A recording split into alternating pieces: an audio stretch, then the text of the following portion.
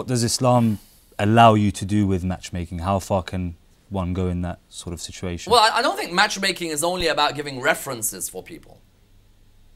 Matchmaking is also an awareness of those in the community who may be single, those who may be divorced,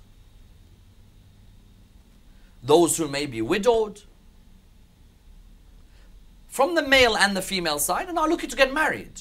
So the first step is building a database of people in the community and a database of confidentiality.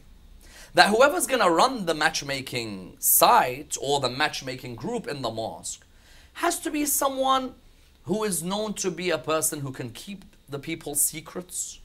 Because this is the people's private lives. They've already probably been through an extremely sensitive time, either not getting married, which for some of them is so difficult to take, understandably, or a very difficult time, for example, after a divorce, or after the loss of a husband or a wife.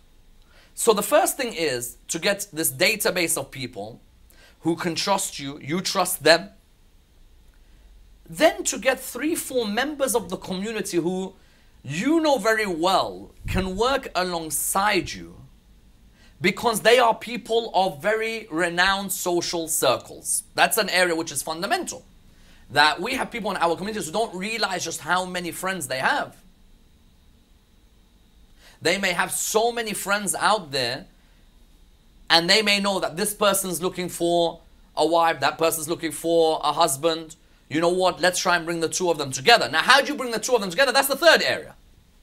Maybe you you pick the house of the one who has uh, collected this database in confidentiality, and maybe 5, 6, 10, 15 people come together.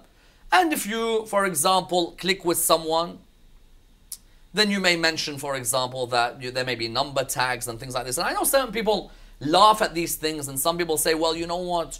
Uh, I don't need to go through this process. You may be fortunate to be part of a community where you're surrounded by people who are lovers of Ahlul Bayt, let's say. There are certain people who belong to communities made up of 10, 15, 30, 40 people. The father, for example, had to move to get a job somewhere in the middle of nowhere. They bought a few Iraqis, a couple of Pakistani, a few Iranian, Lebanese, Afghani, reverts, this India. They bought them together. They made an Imam Bar, they made a Husseiniya, they made a Jami of 40 people, 50 people. You're not gonna find all of a sudden for your three daughters, three guys. If you're if you're fortunate, alhamdulillah, but it's very rare. So you need this database. Now, whether it's online, whether it's face to face, it is an act of piety and it should be done. And I sincerely believe in these things such as the speed dating. You know, if a person is able to organize a program where people can come together, you talk to each other, you know, five minutes, 10 minutes. Is there a click? There isn't a click, you move on and so on. Why not introduce more and more people together? Bring people from different cultures and different backgrounds.